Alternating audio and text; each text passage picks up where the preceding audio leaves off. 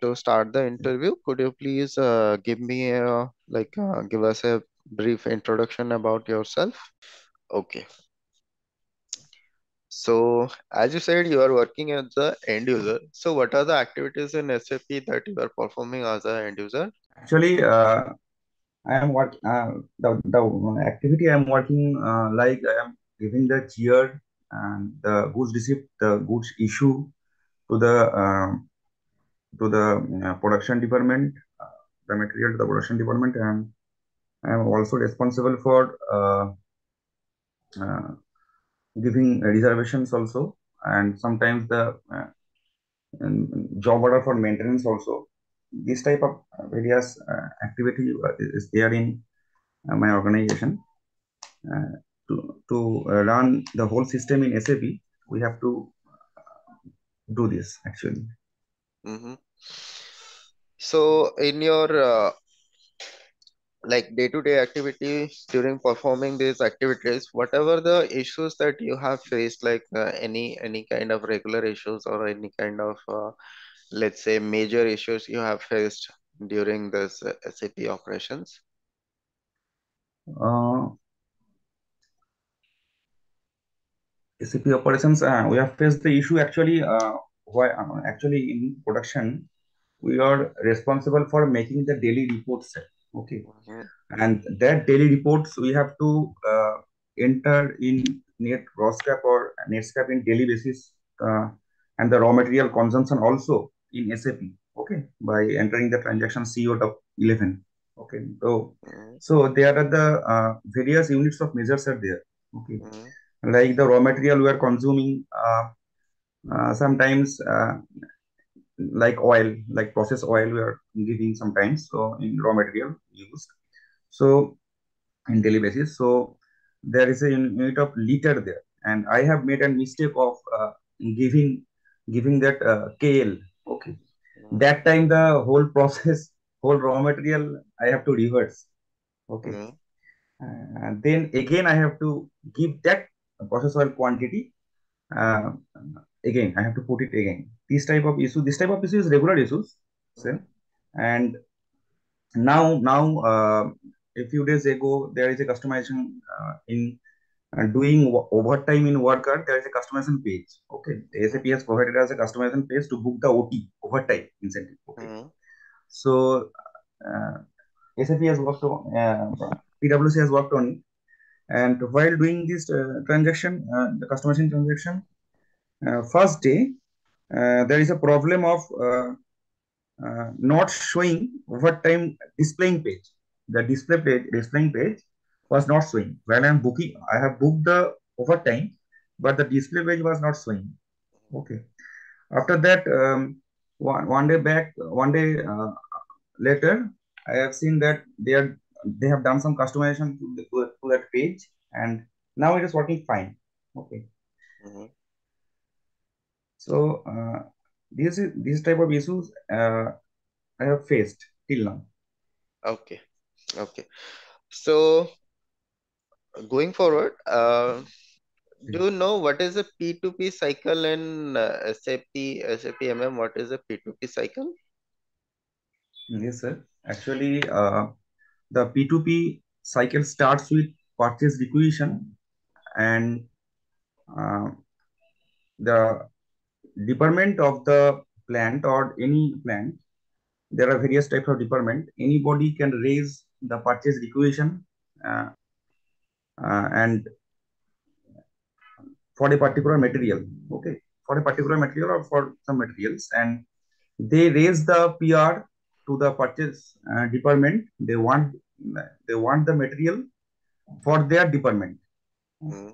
and uh, if there is a selected vendor for that uh, material then the purchase officer is uh, raising the po against that purchase requisition okay mm-hmm.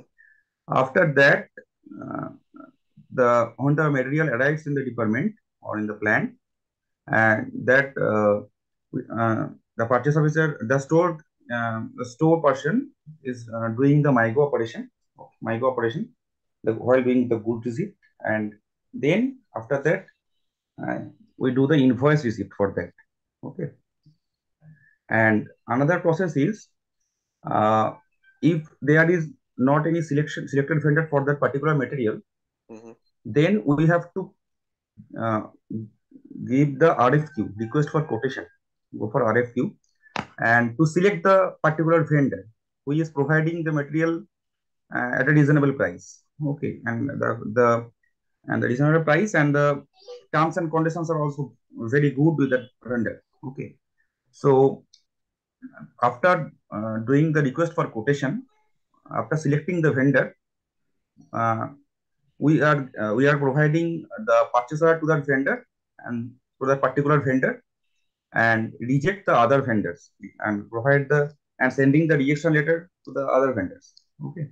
So now in this PO, we are creating the purchase order against uh, the RFQ request for quotation, and the uh, and the uh, remaining process remain the same uh, while doing the same transaction MIGO and uh, MIRO.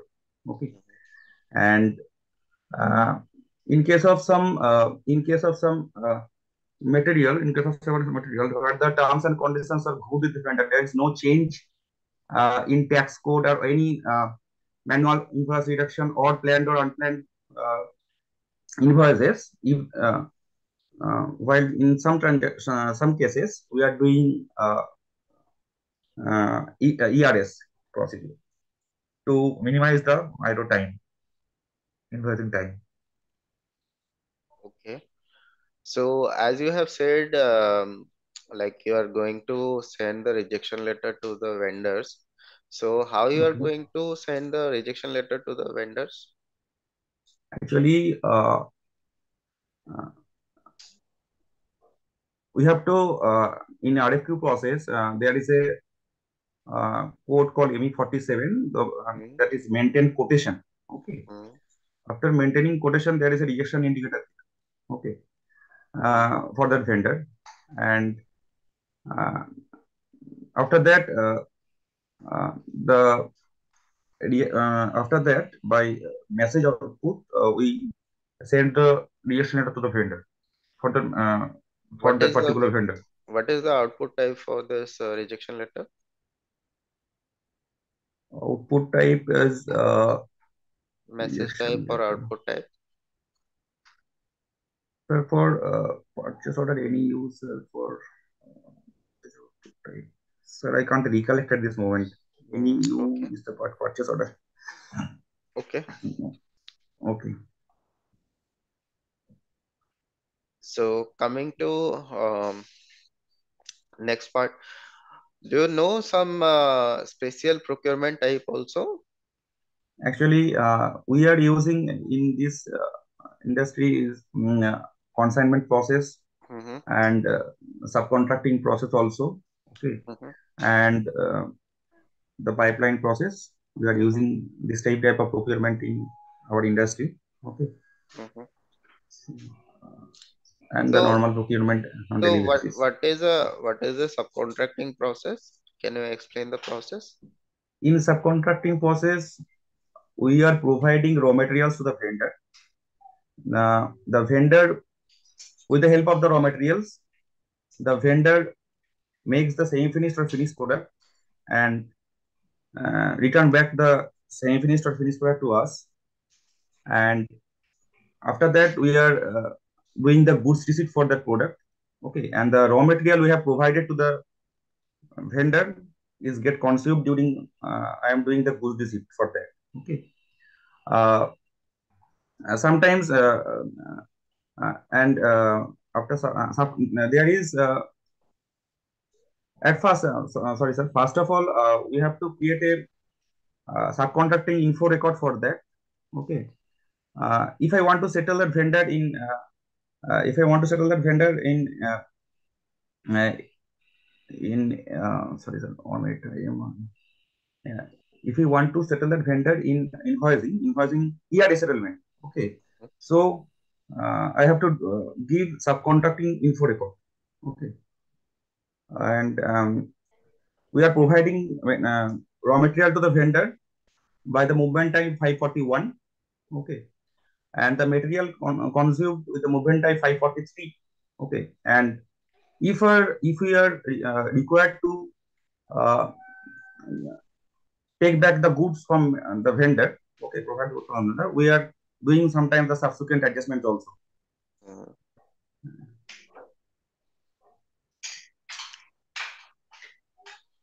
Okay. So, do you know what what uh, like uh, what is the accounting entries for the subcontracting uh, goods receipt? In subcontracting uh, goods receipt, uh, the accounting entries are uh, uh, these kind of accounting entries. Sir, uh, BSX uh, will be uh, debited. Okay and uh, while uh, we are providing raw materials to the vendor, the uh, at the time I'm of providing raw material. I'm asking Hello? about the GR process. Okay, you are asking about the GR process. Uh, so uh, BSX would be uh, debited, sir. Okay. Mm -hmm. subcontracting account BSB will be credited. Mm -hmm. And uh, subcontracting uh, services FRL will be FRL subcontracting services FRL will be debited sir and GRI and WRX will be credited and while while I am doing the goods provided to vendor uh, that is another account also uh, uh, VBO VBO account VBO will be credited sir so VBO VBX uh, these four account five accounts are there. Exactly. Okay. Four accounts. Okay. So, do you know what is the physical inventory? Have you any time have you done or uh, you know the process? What is the physical inventory? Yes, sir. Yes, sir. Actually, the physical inventory is the process of uh, uh, making the SAP stock and the physical stock in the plant uh, same. Okay, uh, the quantity remains the same for both issue. If I don't mention any tolerances there. Okay, so in physical inventory, uh, we have to create the document, physical inventory document first uh, by using the transaction MI01. Okay, then we have to print that document and gives to the document to the stored person, okay, by the transaction MI21. And we have to uh, enter the count, uh, enter the count, and after after printing the document, we have to provide the document to the stored person, and they enter the count there by the transaction MI07 and MI04, and they are posting the differences then that by MI07. In this process, we are using uh, freeze book inventory and post in uh, post uh, post in block. Okay, because are there. We are uh, maximum time we are using the posting blocks uh, that that the GRIR cannot be posted, so that the inventory count uh, inventory count is proper. Okay, and in the movement uh, in this type of uh, when I while doing the while doing the inventory posting, uh, there are movement time 701 and 702. 701 is used for uh, positive differences and 702 is used for negative differences. And there are also other types of physical inventory uh, in this process, uh, like cycle counting, periodic inventory. While doing this, there are several transaction code, but in like cycle uh, uh, counting process, you have to mention cycle indicator in material master. Okay and uh, this is uh, this is the uh, uh there is a uh, we have to create the physical inventory document in the same process but the transactions are different sir. okay. So do you have any idea on uh, sap implementation process? No sir i'm giving support to actually no i have no actually i have, I have an idea of implementation project but mm -hmm. i have not gone with this. I have the idea of support project, sir. Okay, so that's all about the interview. Let's finish this. तो आज का जो interview था interview session वो ये मान के चलो ये तुम्हारा इंटरव्यू सेशन जो था ये मतलब not up to that mark okay पहला चीज़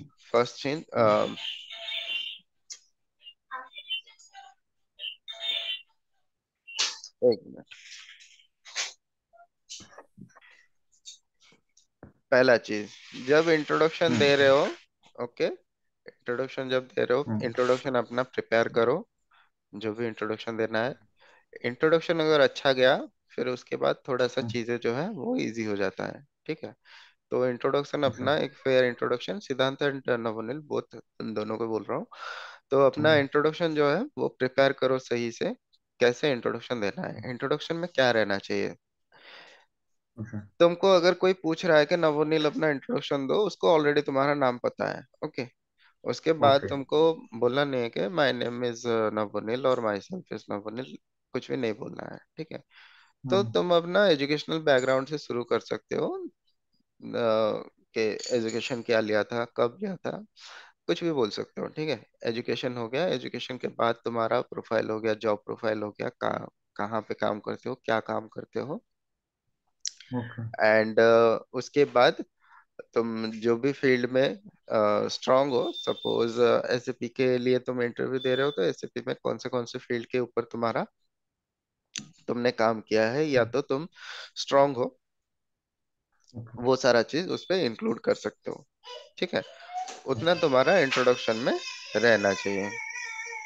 Okay okay coming to the next part उसके बाद जो भी तुम्हारा एक्चुअली मेरे पास तुम्हारा रिज्यूम नहीं था तो मैंने एक ओवरऑल जो इंटरव्यू था उसके ऊपर एक क्वेश्चन हम्म, हम्म, पूछा ठीक है? हम्म, तो बेसिकली तुमको पी टू पी साइकिल के ऊपर क्वेश्चन आएगा या फिर जो भी हमने जैसा स्पेशल प्रोक्योरमेंट टाइप हो गया फिर उसके बाद जो तुम्हारा हो गया क्या कॉन्साइनमेंट कॉन्साइनमेंट जो भी स्पेशल प्रोक्योरमेंट टाइप हो गया वो उन सारे के ऊपर तुमको क्वेश्चन आएगा ठीक है?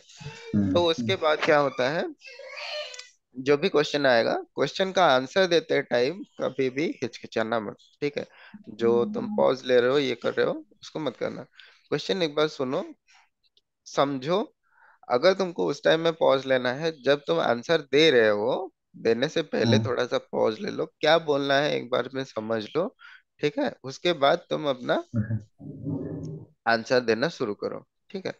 और मैक्सिमम ट्राई करो कि आंसर देने के टाइम में जितना कम पॉज ले सको उतना अच्छा है ठीक है? जैसे रुक रुक के आंसर अच्छा। दे रहे हो ना? उतना अच्छा एंड नेक्स्ट थिंग इज़ जो भी पूछा जाए उसका पॉइंट टू पॉइंट आंसर दो। जैसे तुम जैसे आंसर दे रहे थे घुमा फिरा के सारा चीज़ जो है उसके अंदर आंसर हम्म। दे रहे थे ठीक है? तो पॉइंट टू पॉइंट आंसर देने के लिए कोशिश करो। जैसे कि अगर तुमको कोई पूछ रहा है कि पी टू पी साइकिल क्या होता है? ठीक है पी टू पी साइकिल में क्या क्या होता है? P R to G R process G R और आई आर प्रोसेस तक का होता है। उस पर एक रहता है। वेंडर नोन एक रहता है वेंडर अननोन ठीक है? तो उसके हिसाब से तुमको बताना है। ठीक है? उसके बाद आता है तुम्हारा इम्प्लीमेंटेशन एंड सपोर्ट पार्ट ठीक है? इम्प्लीमेंटेशन में अगर तुम्हारा इम्प्लीमेंटेशन सपोज़ तुम जिसके लिए इंटरव्यू के लिए प्रिपेयर किए हो अगर उसका इम्प्लीमेंटेशन का रिक्वायरमेंट है ठीक हम्म। है अगर उसका इम्प्लीमेंटेशन का रिक्वायरमेंट है तो उसको कभी मत बोलना कि मुझे इम्प्लीमेंटेशन का एक्सपीरियंस नहीं है। बोलो I know the process okay कभी मत बोलना कि नो आई डोंट नो उसको बोलो I know the process okay मैंने काम नहीं किया है but I know the process hmm. अगर तुमने इम्प्लीमेंटेशन का एक्सपीरियंस नहीं डाला है तब भी तुम okay. बता सकते हो। Okay I know the process I haven't work means I don't I didn't get a chance और I don't have a chance to work on the implementation project but I know the process okay okay ये बता सकते हो।